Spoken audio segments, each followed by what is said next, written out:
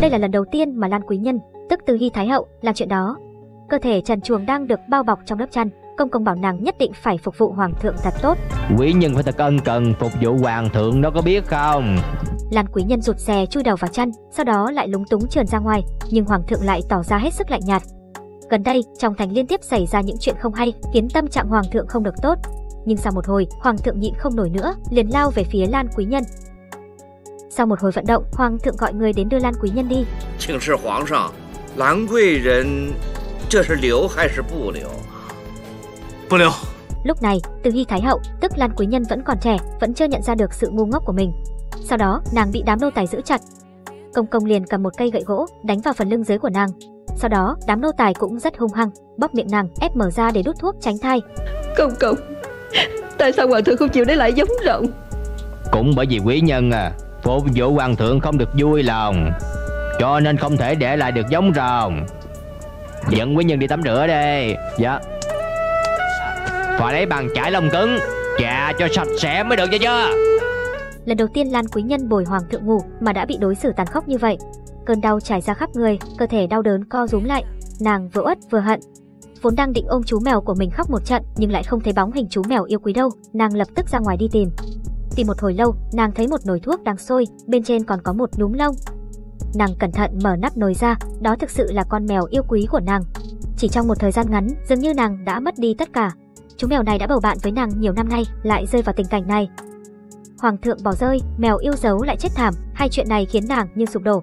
Lan Quý Nhân ngồi bên bờ sông, nàng tuyệt vọng nhìn chằm chằm vào dòng nước, quyết định sẽ từ bỏ cuộc sống này. Lục Vương gia đứng cách đó không xa, trông thấy nàng như vậy nên đã vội vàng ngăn cản. Lan Quý Nhân ngượng ngùng, vội vàng chạy thẳng về cung của mình.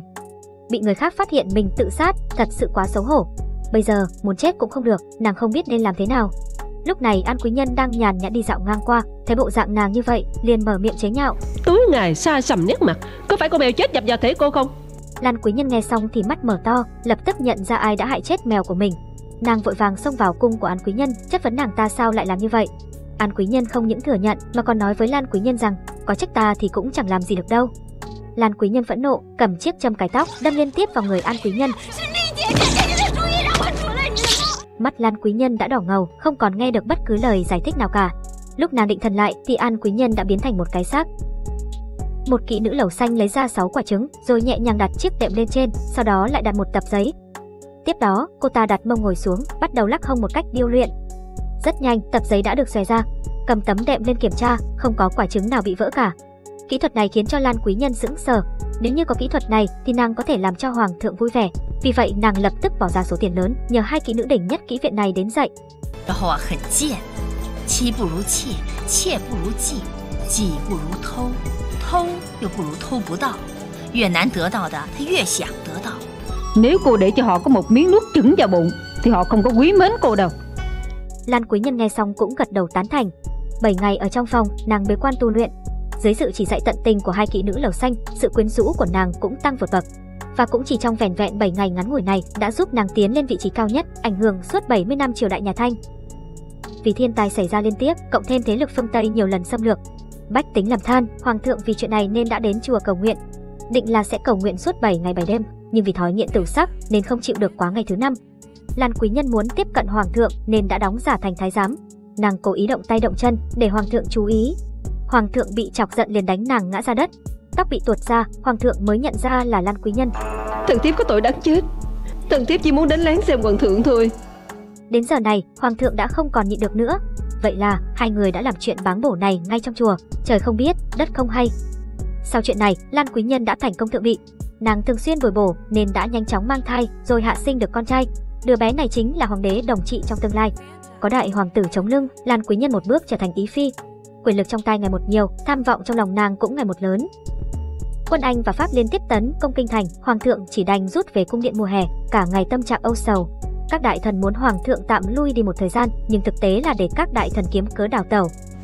Tốt trung đường Quả này là do ông gây ra Bây giờ ông lại chủ trương đào tẩu Dù cho thế nào đi nữa Cũng phải để lại một người thu thập cái tàn cuộc này chứ Các đại thần cảm thấy không hài lòng, mặt tỏ vẻ không phục. Thấy tình huống như vậy, Ý Phi cũng không hề nao núng, cô lập tức thay đổi thái độ, nói mọi người đều phải chịu trách nhiệm khi đất nước lâm nguy. Phản ứng của Ý Phi khiến Hoàng thượng rất ngạc nhiên. Sau đó nàng lại kiến nghị để Lục Phương gia ở lại kinh thành đàm phán với người phương Tây. Hoàng thượng trong lòng cũng đang mông lung nên đã lập tức đồng ý. Lúc này, Ý Phi và Lục Vương gia đã lén lút trao đổi ánh mắt với nhau. Thì ra, từ khi Ý Phi còn chưa nhập cung, Lục Vương gia và nàng đã quen biết nhau. Lúc đó, Ý Phi vẫn chỉ là Na Lạp Thị, mà Lục Vương gia lúc đó cũng đã có tình ý với cô. Ai ngờ, Na Lạp Thị lại bị chọn nhập cung, không được Hoàng thượng yêu thích lại còn bị sỉ nhục. Ngày đó, nàng lỡ tay giết chết An Quý Nhân, Lục Vương gia không chỉ giúp nàng xử lý thi thể, mà còn chỉ cho nàng những kỹ năng sinh tồn ở trong cung. Một quan hệ bí mật của hai người hình thành từ đây quyền lực trong tay Ý Phi có được không thể thiếu công sức hỗ trợ của Lục Vương gia.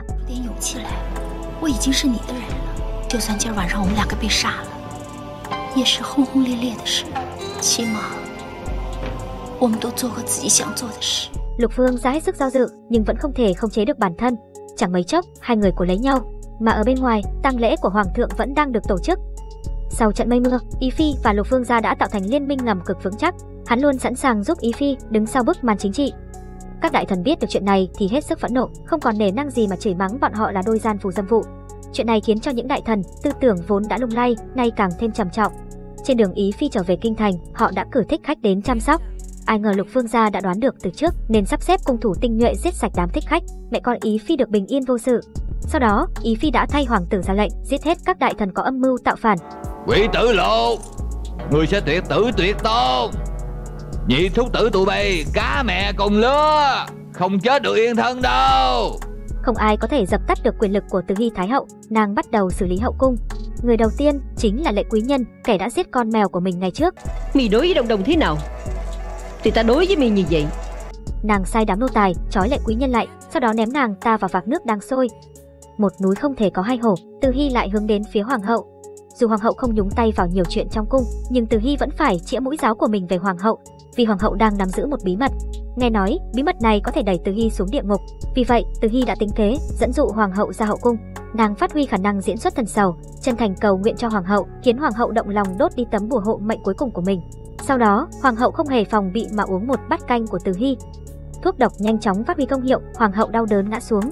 Cuối cùng, Từ Hy không còn đối thủ nào nữa, trong lòng nàng cũng không còn chút lương tâm nào, chỉ còn biết suy nghĩ đến quyền lực. Để loại bỏ triệt để những mối nguy hại, nàng thậm chí còn triệt tiêu cả Lục Phương gia, người luôn toàn tâm toàn ý với mình. Lục Phương mắt ngấn lệ, không nghĩ rằng có ngày mình lại rơi vào bước đường này. Những thập kỷ cuối cùng của triều đại nhà Thanh rơi vào tay nàng như một con rối, được cai trị bởi sự độc ác và lòng tham không đáy của Từ Hy.